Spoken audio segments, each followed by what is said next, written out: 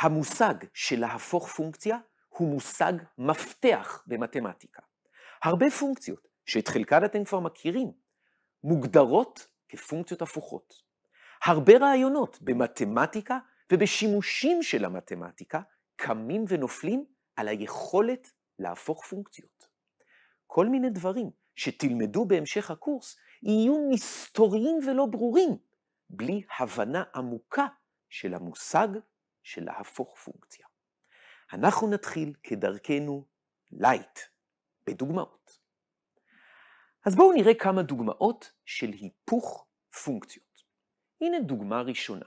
בואו נסתכל על פונקציה מ-R ל-R שמוגדרת על ידי כלל העתקה f של x שווה x ועוד 2.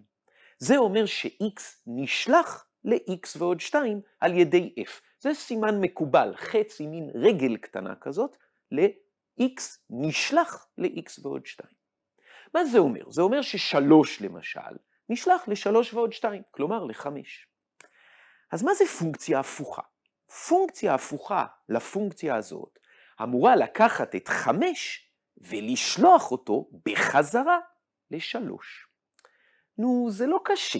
אם הפונקציה f מוסיפה ל-x2, אז הפונקציה ההפוכה אמורה להוריד 2, כלומר לשלוח y כלשהו ל-y פחות 2. אז באמת, בדוגמה הזאת, הפונקציה שנקרא לה g, g של y שווה y פחות 2, זו הפונקציה ההפוכה של f. בואו נראה עוד דוגמה. בואו נסתכל שוב על פונקציה מ-r ל-r, שמוגדרת על ידי כלל העתקה f של x שווה x בריבוע. כמה פשוט. אז f שולחת את x ל-x בריבוע, ולכן למשל את 3 היא שולחת ל-9. אז הפונקציה ההפוכה אמורה לשלוח את 9 ל-3. כמה פשוט. f שולחת גם את מינוס 3 ל-9. אז הפונקציה ההפוכה אמורה לשלוח את 9 גם למינוס 3. רגע.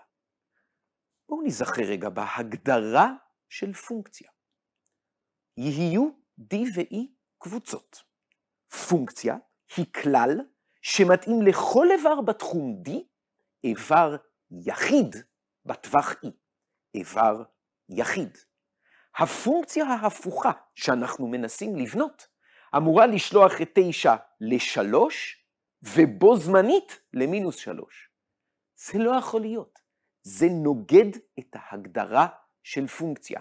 אה, יש עוד בעיה. הפונקציה המקורית לא שולחת אף אחד למינוס 9.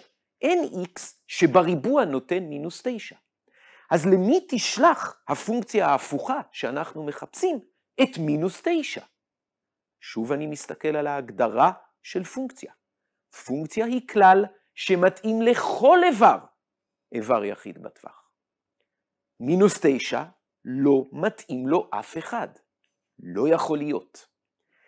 לכן, בדוגמה הזאת לא קיימת פונקציה הפוכה. ל-x בריבוע אין פונקציה הפוכה. תגידו, רגע, רגע, רגע, רגע, רגע, חבר, מה, מה אתה מדבר? מה זה שורש של x?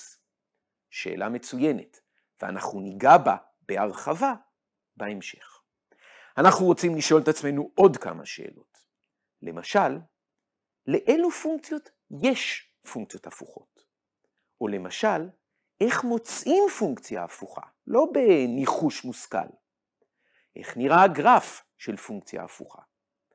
על אלו ועוד בסרטונים הבאים.